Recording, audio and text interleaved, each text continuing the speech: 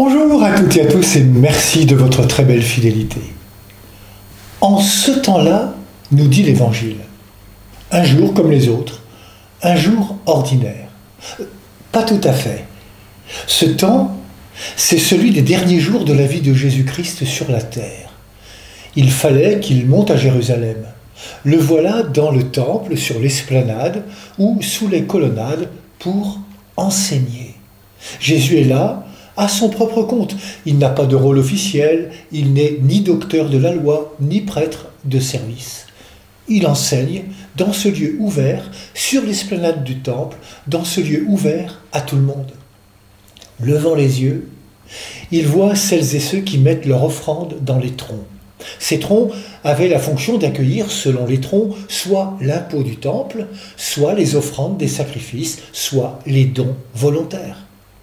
Dans la foule, il y a cette femme, cette veuve misérable que personne ne voit, sinon Jésus, il la voit. Et il la voit déposer ses deux piécettes, presque rien dans l'absolu.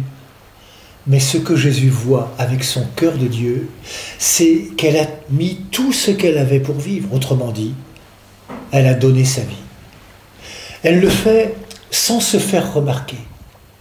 Ils sont plus nombreux qu'on ne croit, celles et ceux qui discrètement, sans qu'on les remarque, donnent leur vie au service de leurs frères et sœurs. Ils ne font pas de bruit, mais ils sont des cadeaux de vie pour celles et ceux qui les rencontrent. Des pépites de vie, de présence, d'écoute, de soins, d'échange, d'entraide, de compassion, d'attention. Ce que Jésus voit, c'est la grandeur d'âme dans les gestes gratuits du quotidien. En cet instant, Jésus sait où il va. Lui va donner sa vie. Ce don, c'est le mouvement même de Dieu. Par sa passion, qui n'a jamais été aussi proche, Jésus va partager la vie de cette pauvre veuve. Rien dans le paraître, mais tout dans l'humilité. Comme elle, il n'aura aucune considération et reconnaissance.